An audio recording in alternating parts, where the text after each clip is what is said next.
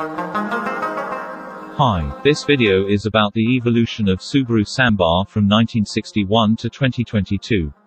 The Subaru Sambar is a cabover truck and microvan manufactured and marketed by Subaru as Japan's first truck compliant. First generation, 1961 to 1966. Introduced at the 1960 Tokyo Motor Show in passenger and commercial versions, the Sambar featured four-wheel independent suspension, a rear engine, rear drive layout, and a one-box body configuration. Maximum power from 360cc The two-stroke twin was 17.8 bhp. It offers three-speed manual transmission. Second generation, 1966 to 1973. The redesigned Sambar debuted in January 1966 with revised styling and a truck variant. The Sambar continued to use the 356cc EK31 two-stroke engine, but now in the 19.7 horsepower with 3 and 4-speed manual transmission. Starting with the 1970 model year, the engine was accessed from outside the vehicle. Along with the facelift, the engine was also updated EK33, and now produced 25.6 horsepower.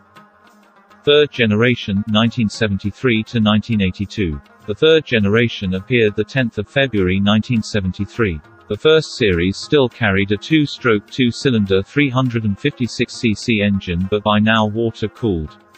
As of February 1976, the engine was upgraded to the EK21 4-stroke water-cooled version. Later the engine was again upgraded with a 490cc. Transmission option include 4-speed manual. Fourth generation, 1982 to 1990. The fourth generation model appeared on May 9, 1982, with one-box van models. It was available as a van with a high or a regular roof. The four-wheel drive was available with a dual-range transmission. An automatic clutch was offered in the Sambar Try. The home market Sambar came equipped with the 544cc, two-cylinder engine, while export versions received an enlarged 665cc version. In April 1989, a six-valve engine option were added. Fifth generation, 1990 to 1999. The fifth generation Sambar was introduced in 1990. Sambar's engine was upgraded to four cylinders 660cc. An automatic transmission was offered in the form of Subaru's eCVT system. Special edition appearance packages were offered including a retro Dias Classic, later available on the Sambar truck.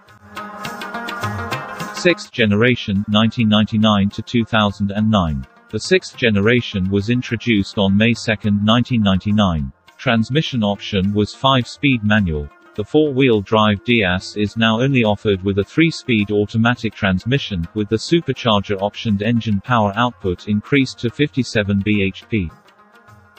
Seventh generation, 2009 to 2014. In September 2009, the passenger version of the Sambar introduced as the Subaru Dias wagon. The Sambar truck was later introduced to Japan on April 2, 2012. This is the first time the Sambar is a semi-cabover vehicle. The engine was installed in the front of the vehicle, between the front passengers, and driven by the rear wheels.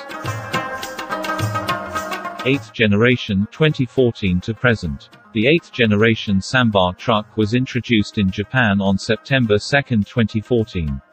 The 8th generation Sambar van was introduced in Japan in January 2022.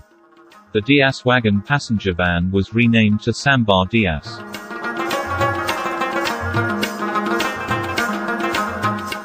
Thanks for watching Automotive Revolution. Please subscribe my YouTube channel.